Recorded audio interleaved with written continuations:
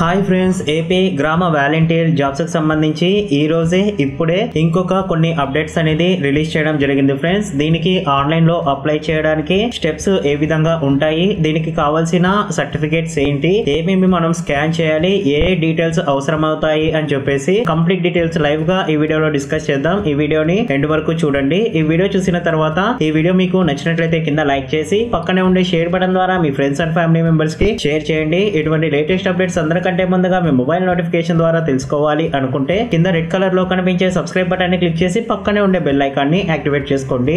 Hi friends welcome to my channel this is Naresh ఎదిద్యా ఇది గ్రామ volunteer జాబ్స్కి సంబంధించి ఆన్లైన్లో దరఖాస్తు చేసుకోవడానికి వెబ్ అప్లికేషన్ ఏ విధంగా ఉంటుంది అని యూజర్ మాన్యువల్ అనేది రిలీజ్ చేశారు కదండి ఫ్రెండ్స్. డైరెక్ట్గా నేను తెలుగులో దీని గురించి డిస్కషన్ అనేది చేస్తాను. మనకు ఈజీగా అర్థం అనేది అవుతుంది. దీనికి సంబంధించిన కంప్లీట్ లింక్స్ అన్ని కూడా నేను కింద డిస్క్రిప్షన్ బాక్స్లో ప్రొవైడ్ చేస్తాను ఫ్రెండ్స్. అప్లికేషన్ దరఖాస్తు కొరకు మనకు ఏమేమి అర్హతలు ఉండాలి అనేది ఇక్కడ క్లియర్గా మెన్షన్ చేయడం జరిగింది ఫ్రెండ్స్. విద్యా అర్హతలు చూసుకున్నట్లయితే గిరిజన ప్రాంతాలకు పదవ తరగతి గ్రామీణ ప్రాంతాలకు ఇంటరు పట్టణ ప్రాంతాలకు డిగ్రీ అనేది కంపల్సరీగా ఉండాలన్నమాట. పద్దెనిమిది నుంచి ముప్పై ఐదు సంవత్సరాల మధ్య వాళ్ళు మాత్రమే దీనికి ఎలిజిబుల్.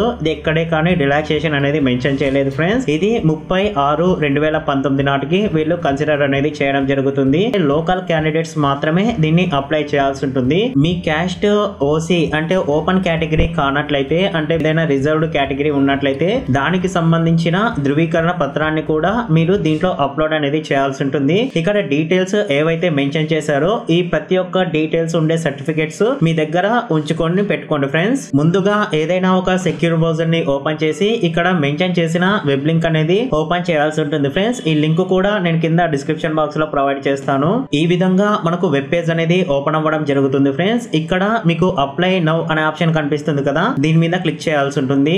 ఇంతకు ముందు అర్హతలు అని ఏమేమైతే డీటెయిల్స్ మనకు చూపించారో సేమ్ డీటెయిల్స్ ఇక్కడ చూపించడం జరుగుతుంది ఫ్రెండ్స్ ఫ్రెండ్స్ వీటన్నిటికీ మీరు ఎలిజిబుల్ అయినట్లయితే ఇక్కడ డిక్లరేషన్ చెక్ బాక్స్ని టిక్ చేసి ఐ యాక్సెప్ట్ అంగీకరిస్తున్నాను అని దీని మీద క్లిక్ చేయాల్సి ఉంటుంది. స్టెప్ వన్ ఓపెన్ అవ్వడం జరుగుతుంది ఫ్రెండ్స్ ఇక్కడ మీ ఎలిజిబిలిటీ అనేది చెక్ చేస్తారనమాట ఇక్కడ మీ యొక్క ప్రాంతం అనేది సెలెక్ట్ చేసుకోవాల్సి ఉంటుంది. దీని మీద క్లిక్ చేసిన వెంటనే మీరు గ్రామానికి సంబంధించిన వాళ్ళ లేదా పట్టణానికి సంబంధించిన వాళ్ళ గిరిజన ప్రాంతానికి సంబంధించిన వాళ్ళ అనేది ఇక్కడ నుంచి సెలెక్ట్ చేసుకోవాలి. దాని తర్వాత మీ ఎడ్యుకేషనల్ క్వాలిఫికేషన్ అనేది ఇక్కడ నుంచి సెలెక్ట్ చేసుకోవాల్సి ఉంటుంది ఫ్రెండ్స్ దీని మీద క్లిక్ చేసిన వెంటనే ఎస్ఎస్సీనా ఇంటరా డిగ్రీనా అనేది చూపించడం జరుగుతుంది. మీరు దేనికైతే ఎలిజిబుల్ ఉంటారో దాన్ని ఇక్కడ నుంచి సెలెక్ట్ చేసుకోవాల్సి ఉంటుంది. ఇక్కడ ఎస్ఎస్సి మార్క్స్ మేము ప్రకారం మీ డేట్ ఆఫ్ బర్త్ ఏదైతే ఉంటుందో దాన్ని సెలెక్ట్ చేసుకోవాల్సి ఉంటుంది. సెలెక్ట్ చేసుకున్న తర్వాత ఇక్కడ కింద మీకు గ్రీన్ కలర్లో చెక్ అని కనిపిస్తుంది కదా. దీని మీద క్లిక్ చేయండి.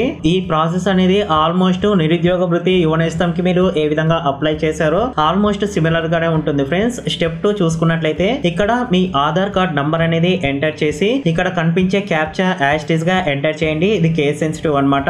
ఇక్కడ సెండ్ ఓటీపీ అనే ఆప్షన్ మీద క్లిక్ చేయండి ఫ్రెండ్స్ మీ మొబైల్ నంబర్ ఏదైతే ఆధార్ కార్డ్తో లింక్ అయి ఉంటుందో దానికి ఓటీపీ అనేది రావడం జరుగుతుంది. ఆ ఓటీపీని ఇక్కడ ఎంటర్ చేసి కింద వెరిఫై ఓటీపీ అని కనిపిస్తుంది కదా ఫ్రెండ్స్ దాని మీద క్లిక్ చేయాల్సి ఉంటుంది. ఒకవేళ మీ ఆధార్ కార్డ్కి మీ మొబైల్ నంబర్ లింక్ కానట్లయితే అంటే ఈ జాబ్స్కి ఆధార్ కార్డ్ అనేది కంపల్సరీగా ఉండాలి ఫ్రెండ్స్ ఒకవేళ mobile number Aadhaar Aadhaar card link కానట్లయితే ఇక్కడ ఆధార్ నాట్ అవైలబుల్ అనే ఆప్షన్ కనిపిస్తుంది కదా దీని మీద క్లిక్ చేయాల్సి ఉంటుంది. అంటే దీని ద్వారా మీ మొబైల్ నంబర్ తోనే మీరు రిజిస్ట్రేషన్ అనేది చేసుకోవచ్చు అనమాట ఇక్కడ మీ మొబైల్ నంబర్ ఎంటర్ చేసి ఇక్కడ సెండ్ ఓటీపీ అనే ఆప్షన్ కనిపిస్తుంది కదా దీని మీద క్లిక్ చేయాల్సి ఉంటుంది ఫ్రెండ్స్. తర్వాత మీ మొబైల్ నంబర్కి వచ్చిన ఓటీపీని ఇక్కడ ఎంటర్ చేసి కింద వెరిఫై ఓటీపీ అనే ఆప్షన్ కనిపిస్తుంది కదా దాని మీద క్లిక్ చేయాల్సి ఉంటుంది. ఈ విధంగా మీరు మొబైల్తో రిజిస్ట్రేషన్ అయిపోయిన తర్వాత విత్ ఇన్ టెన్ డేస్ లోపలే మీ దగ్గరలో ఉండే మీ సేవ లేదా ఆధార్ కార్డు కేంద్రానికి వెళ్ళి మీరు ఆధార్ కార్డ్తో మీ మొబైల్ నంబర్ అనేది కంపల్సరిగా లింక్ చేయించుకోవాల్సి ఉంటుంది ఫ్రెండ్స్. తరువాత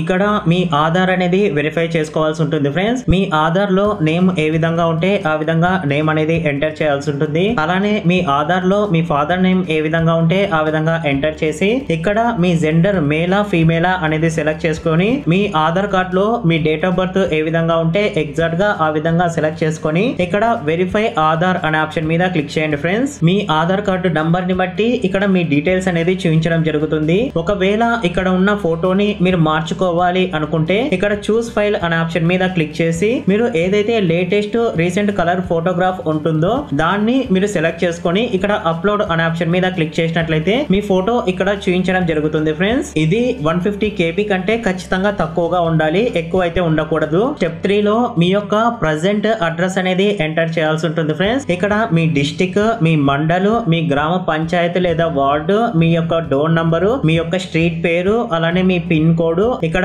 ఎంటర్ చేయాల్సి ఉంటుంది. దాని తర్వాత మీ యొక్క రెసిడెన్స్ ప్రూఫ్ లాగా మీరు ఒక సర్టిఫికేట్ అనేది అప్లోడ్ చేయాల్సి ఉంటుంది ఫ్రెండ్స్ ఇక్కడ సెలెక్ట్ టైప్ ఆఫ్ ప్రూఫ్ అని కనిపిస్తుంది కదా. దీని మీద క్లిక్ చేసిన వెంటనే మీకు ఆప్షన్స్ అనేది చూపిస్తాయన్నమాట.